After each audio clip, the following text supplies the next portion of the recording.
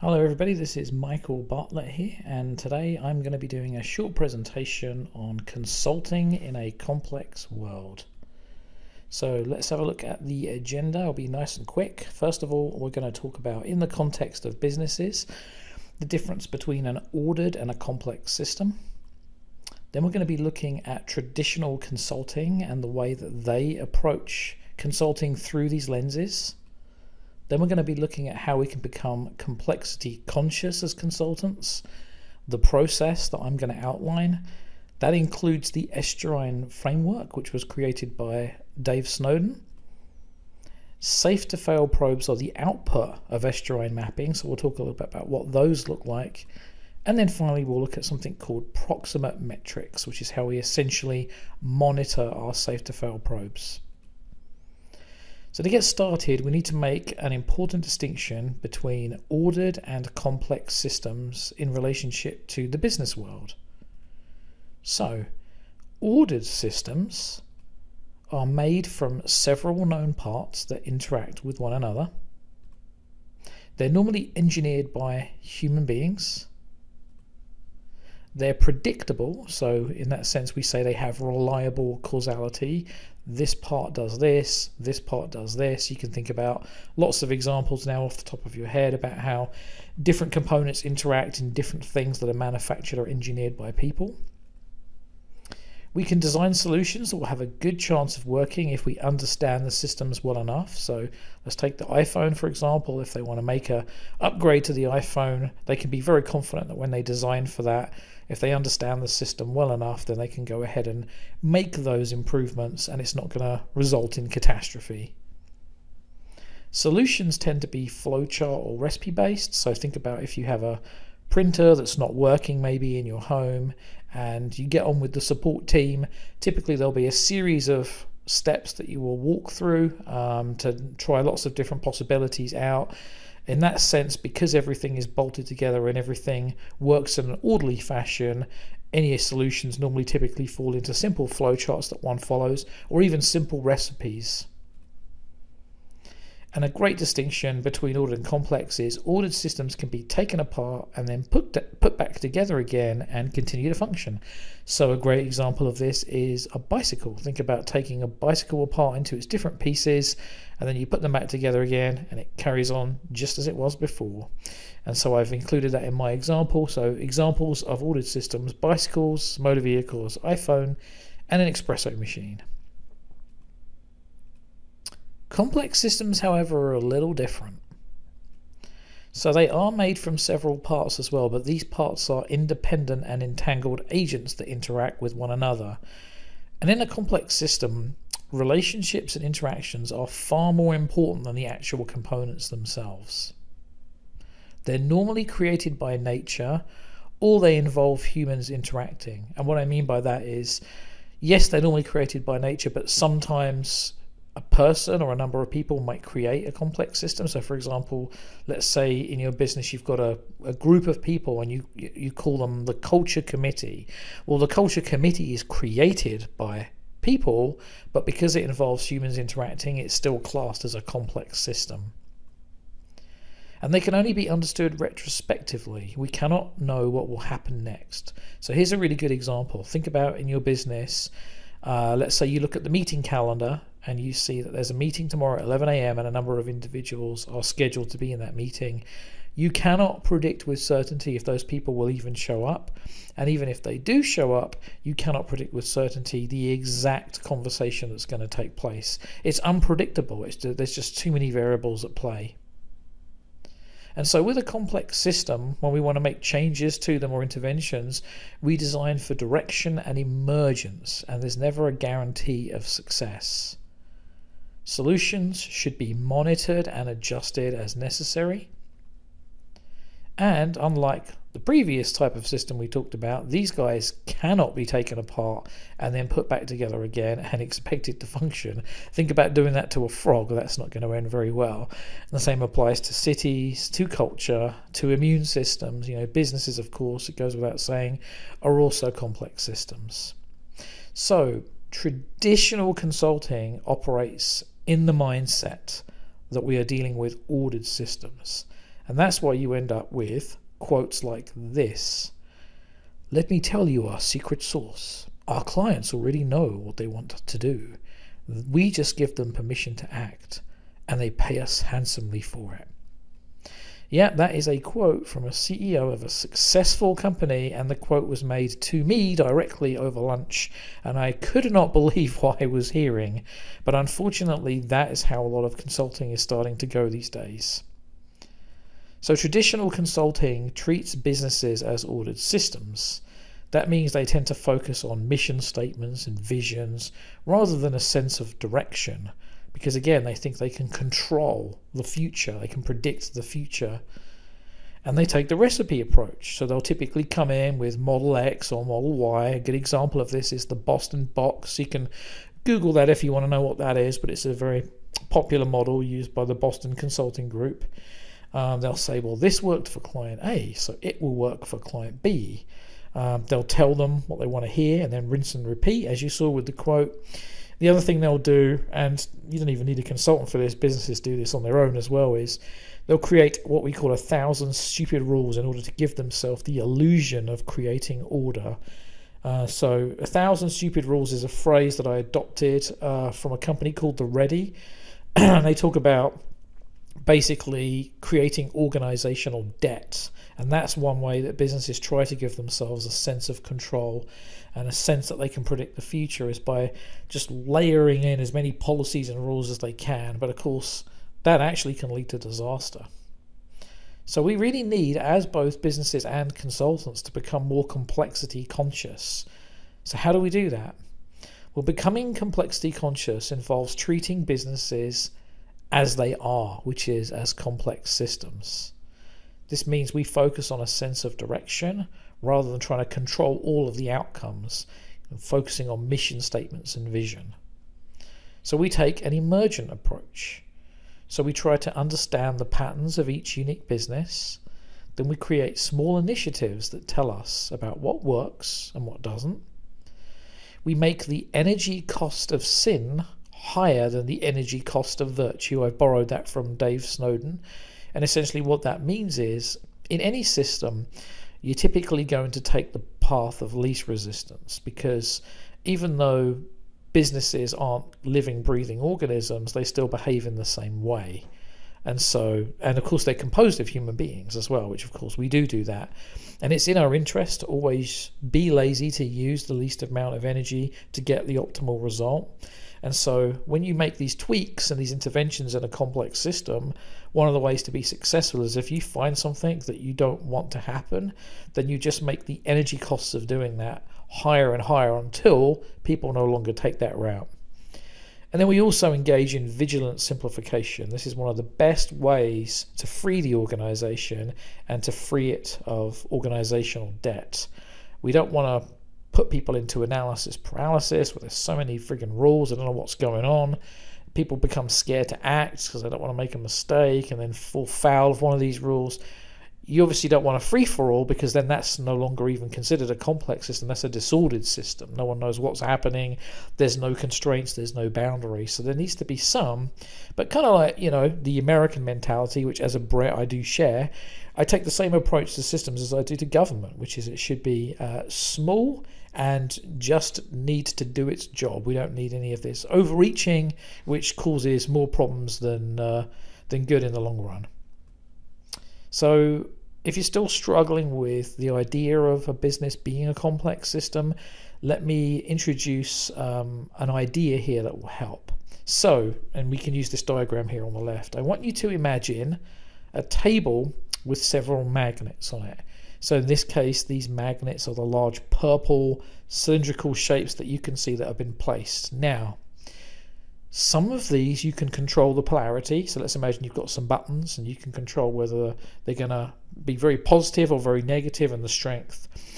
Some people uh, control these magnets that you know, but there's also some people that you don't know about that control these magnets as well. So you can see how this could get a little messy. Now, the movement of these metal pieces, you know, you see these nuts and bolts on the table, these can be predicted when there are one or two magnets. But once you reach three or more magnets, you cannot predict what is going to happen. You actually end up pushing what would have been an ordered system into a complex system. So, this is a great example of understanding how one can become the other. And this is known in physics as the three body problem. So, if you take the moon rotating around the earth, rotating around the sun, you might think they follow very, very specific laws of physics and it's 100% entirely predictable. But unfortunately, because each has an effect on the other, once you reach three, it becomes unpredictable. You can get within a certain level of accuracy, but no one can get 100% accurate on predicting that movement. And so the three body problem essentially is the, the foundation of the idea of complexity.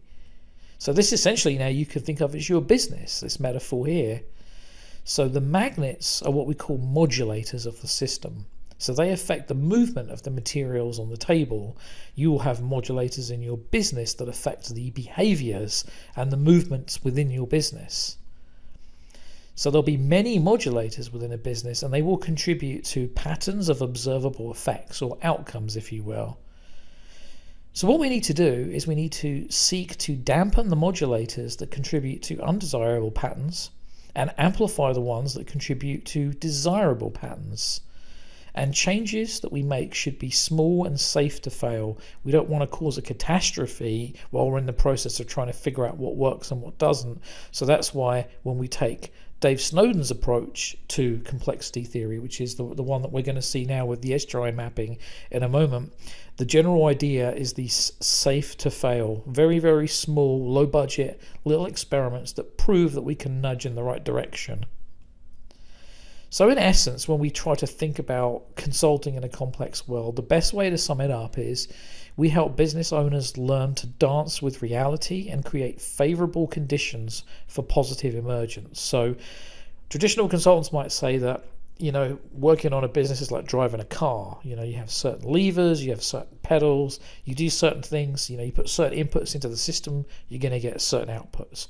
We don't see it that way. We see it's more like learning to ride an elephant.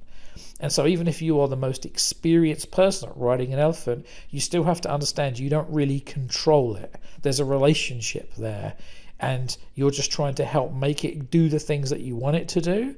But it's never actually going to work out 100% perfectly. But you can get better and better and better the more experienced you get, the more little things you try out here and there.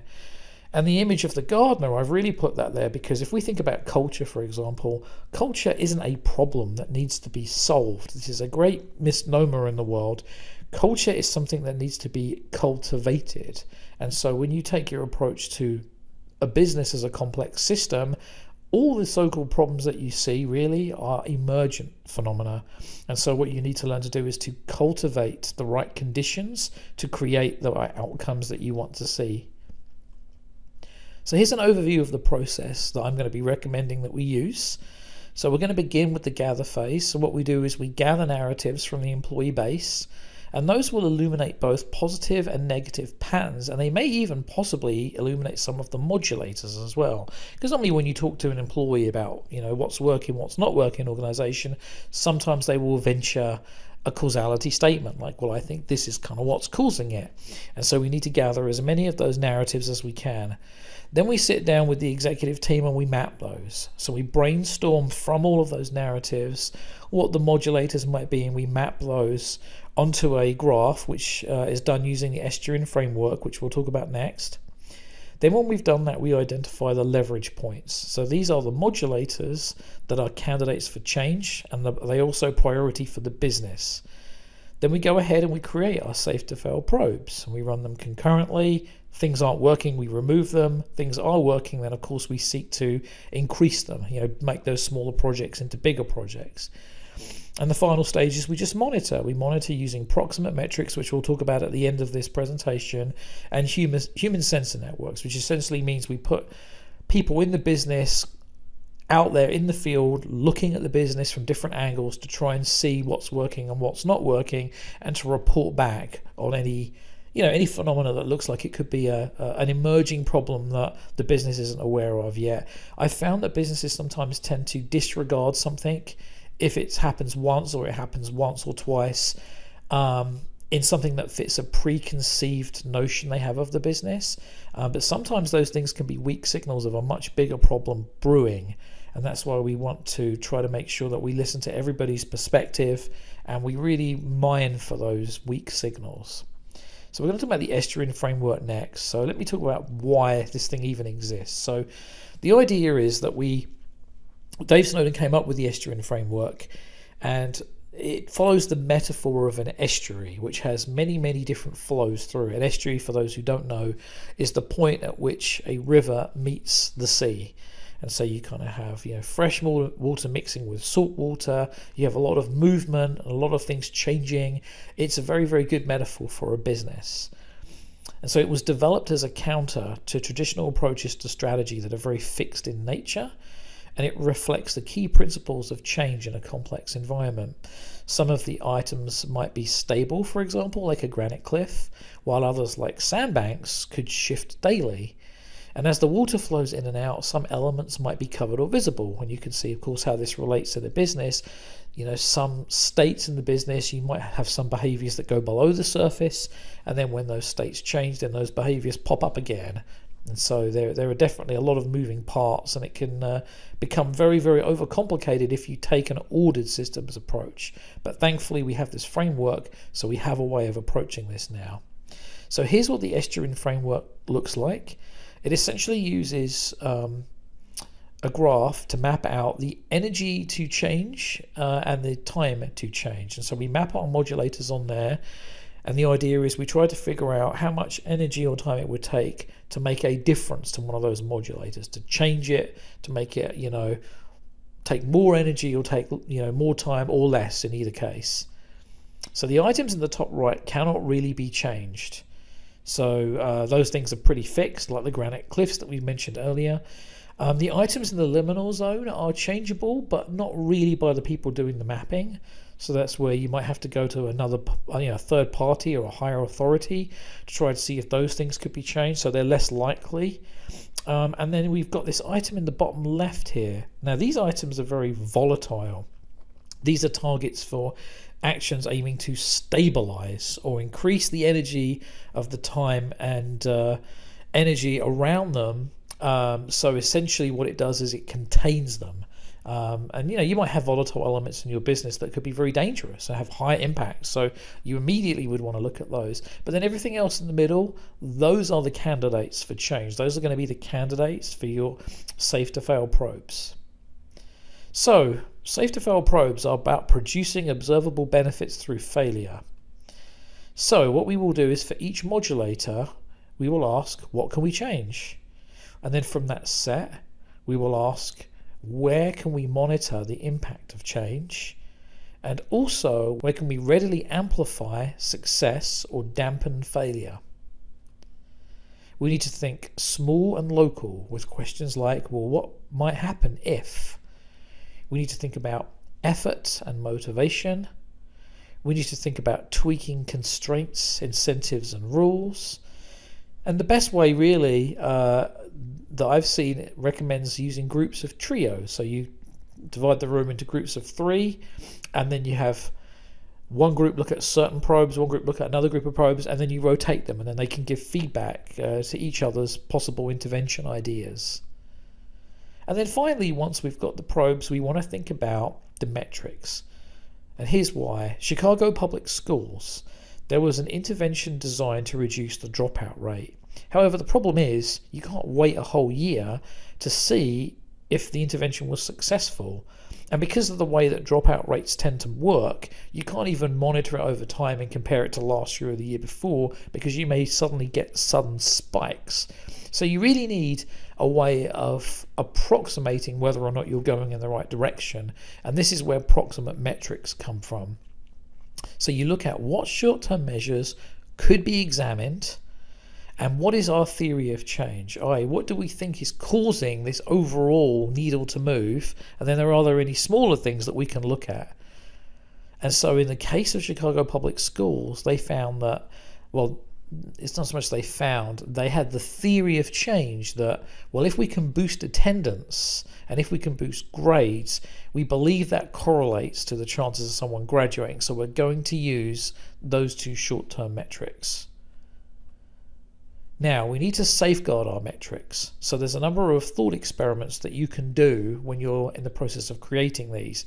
As a group, run the misalignment test. So, you imagine that the metrics do not predict success accurately. Okay, well, then what would allow us to sniff out that misalignment as early as possible? And what alternative measures might provide potential replacements? The lazy bureaucrat test. If someone wanted to succeed in this metric with the least effort possible, what would they do? This helps you sniff out potential gaming of the metric. The unintended consequences test. Well, what if we succeed yet cause negative unintended consequences that outweigh the value of our work? What should we be paying attention to that might contribute to this? And then the dark modulators test. Imagine we succeed but what else might explain the success other than our own efforts? I.e., could everything we have done actually have done nothing? Something else was causing the success. Could those things exist? Brainstorm them and then ask, are we tracking those factors?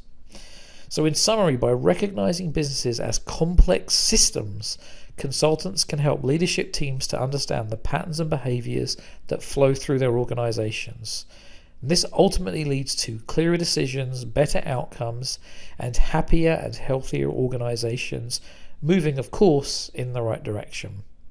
So, thanks for your time today. Please contact me if you have any questions.